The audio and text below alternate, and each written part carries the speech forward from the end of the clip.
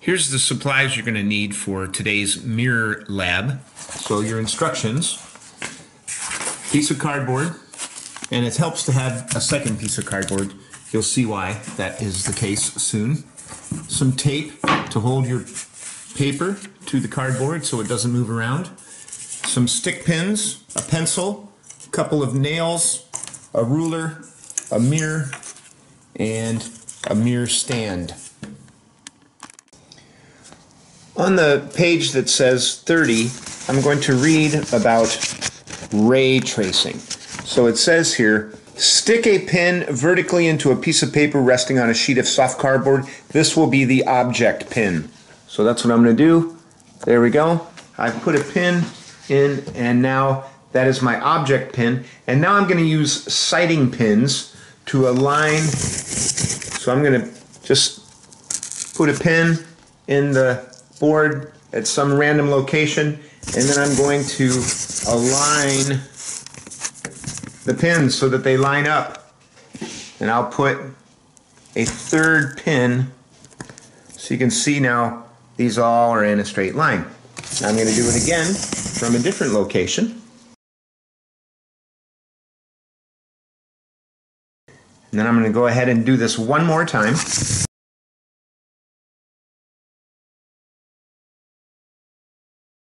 There we go. Now you can see I've got the pins. There's my object pin right there. So I'm going to mark that object pin and then I'm going to connect with my ruler those dots, those dots, and those dots. Let's see what that looks like.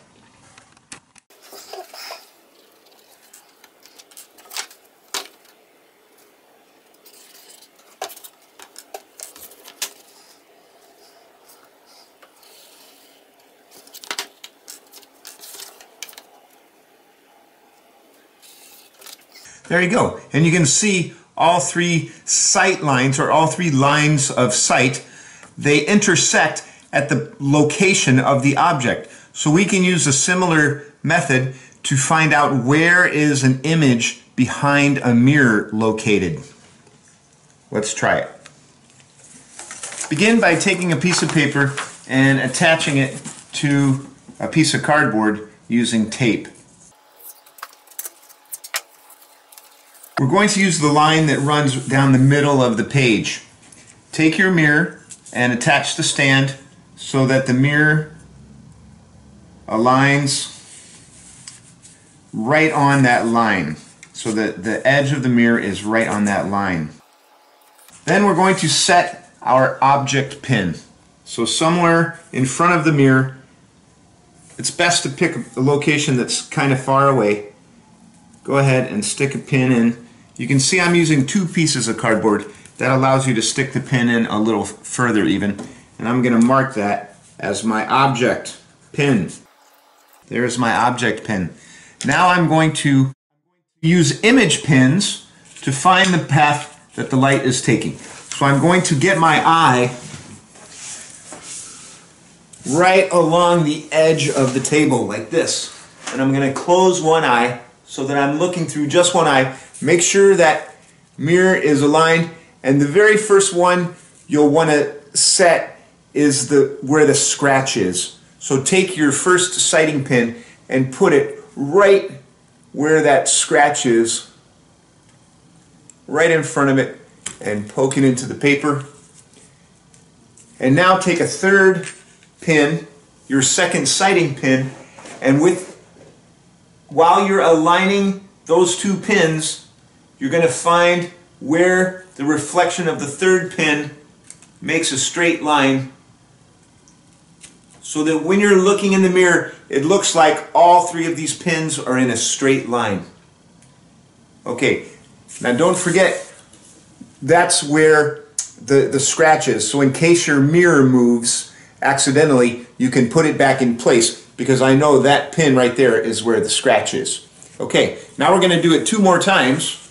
I'm going to pick another spot on the mirror I'll choose that spot right there and stick a pin into, and I'll do it uh, again. I'll get my sighting pin and I'll align, find the location of the reflection so that all three are in a straight line. Now you got to label these so you don't forget what's what.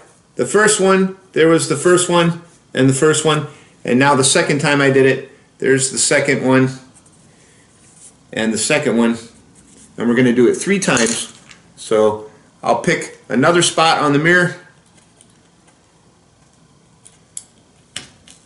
There we go. And once again, I will find the location on the paper. There we go. And I'll label that. Three and three. Now we're ready to trace the path the light is taking. So I can go ahead and remove the mirror now and remove the pins. And now I'm going to get my ruler and I'm going to, from my object point to my first sighting pin, that's the path the light is taking to get to the mirror, and then it reflects off the mirror and comes out to my second sighting pin that I've labeled number one. Now, my eye is over here. It thinks light travels in a straight line, so it thinks the light is coming from somewhere over here along this line. So I'm going to go ahead and draw that path inside the mirror that my eye thinks the light is coming from that direction. Okay, now I'm going to do it again for number two.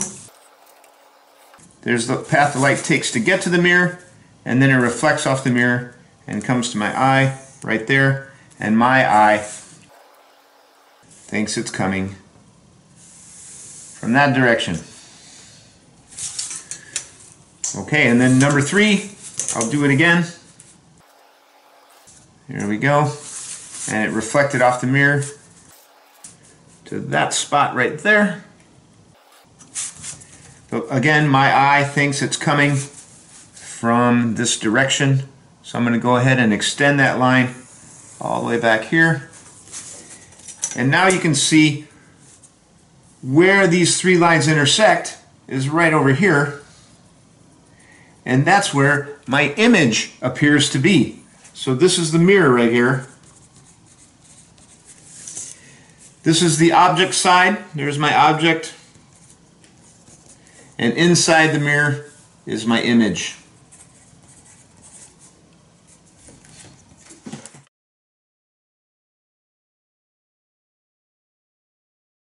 For step nine, I'm going to arrange my two mirrors at right angles to one another so that they're both mirrored images facing each other and I'm going to mark a spot in there where I'm going to place my object nail. And the reason you mark it is in case it falls down you can put it back in the exact same spot again later. So there we go. I've set up my, my object nail and now using the parallax method I'm going to find the location of the image in the mirror.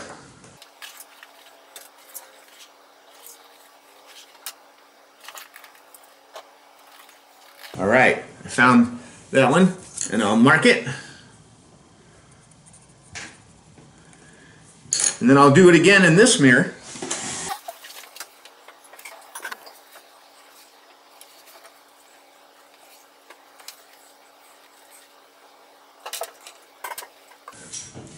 I got it.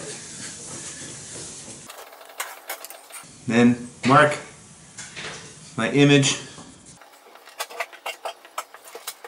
And don't forget to mark where the mirrors are.